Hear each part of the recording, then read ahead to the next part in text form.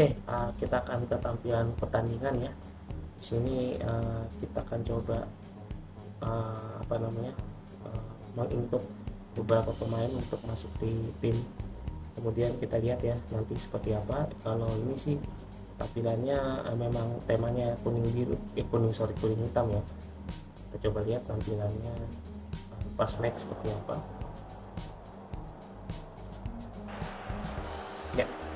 Bisa lihat uh, tampilan ini masih standar ya bagi FM 2004 bawahan Oke kita coba lihat pas match seperti apa. Ya ternyata tampilannya cukup penuh ya situ tadi. Nah, bisa lihat uh, apa namanya? Uh, staffnya tadi ya.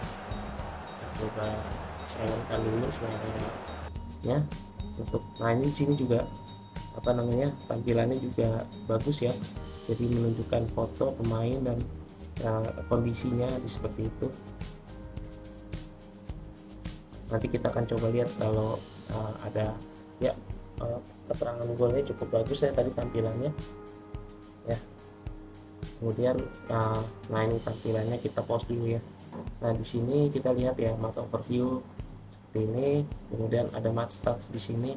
Kemudian di sini ada dogot dogot itu kayak uh, apa sesuatu yang muncul dalam pertandingan apa saja. Kemudian ada menu custom di sini. Uh, lebih banyak informasi analisis informasi tentang analisis dan tim start. Ya ya cukup lengkap dan cukup bagus ya. Dan ini juga bisa dimodifikasi se, uh, sefull apa yang mau dilihat. Kayak gitu sih.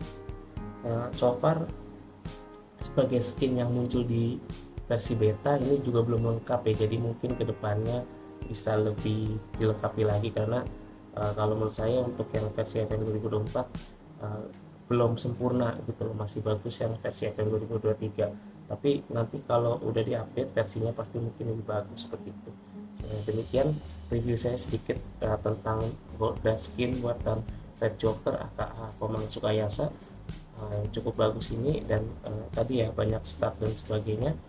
Uh, ini juga untuk uh, quick quick quick sub juga cepat. Dan kemudian tampilan untuk setting uh, rutin dan sebagainya juga tampilannya bisa seperti ini.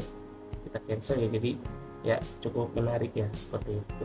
Terima kasih sudah menyaksikan video ini. Jangan lupa like subscribe ya game nantikan video dari channel media virtual berikutnya. anda